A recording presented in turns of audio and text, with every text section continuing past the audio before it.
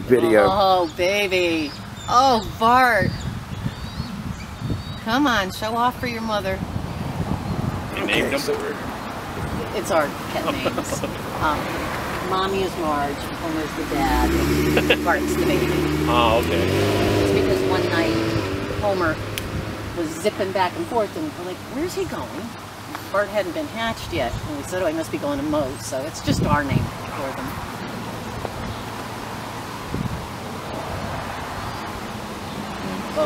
Bart. He's showing off for Mom. He wasn't, he just went again, I, I mean, mm-hmm. she must be saying, I wonder if she's holding something be. as an enticement? Because a lot of the time now, she used to be like on the edge of the nest or in the nest, almost every time we've been seeing her for the past week or so, a little longer. She's been up. Yeah, look at him. Above or down. Look at him. Below. Yeah, she, she's been up in that perch or just below the nest. I mean, she's gone in t- to eat and to, and to feed with him. But after that, and it, it was like a week or two ago, he started hovering and flying. We were, we, flying we've up on been a couple perch. weeks since we've, we've been back here, and there was another another woman here. And, oh, anytime now, Fourth of July. Yeah, This is that- July what now? Yeah, we were we were it's hoping. been that long? Yeah, well, you know, Bart never was a quick student. I thought it would go by the end of May, but yeah. Well, what he looked like at the end of the day was fuzzy headed. Six, seven weeks later, it's amazing. He's a little man. I mean, I mean, end of June, rather, not end of May. yeah. When the guys come to, he's got a big spotting scope, and like you could see just the bird. That's Mhm. I like. Okay, that's a nice scope. Yeah. How much is it? He The well, gentleman from the Audubon had some children down here yesterday. Was it yesterday or the day before? We come here almost every day. um, and we were waiting for the ring to stop, and the light's fading a bit. Um, Well, he's really calling up a storm. He's really He is. talking to mom.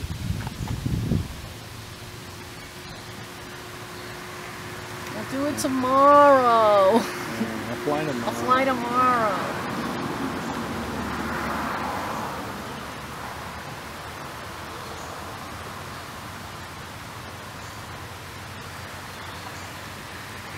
he had the spotting scope. My son was able to take his cell phone and through the eyepiece take a picture. Oh, And even the picture on the cell phone was really good. Like, Yeah, the gentleman from the Audubon, they had some kids. They, they have groups down at the Audubon, you know, that, that they do.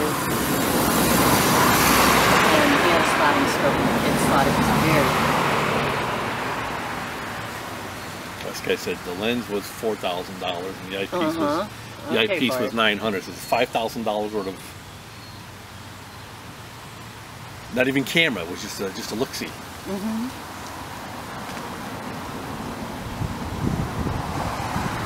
We've seen what that, the thing that could see the Pluto if it wanted to. That camera, ten thousand dollar camera. Oops, as long as my arm. Yeah, There, guy, Bart. Guy, guy had a There he goes again. yeah, guy had a twelve thousand dollar lens on Oh the my bottom. god. Come on, Bart. You certainly have a lot to say. Yeah, see, he's hopping.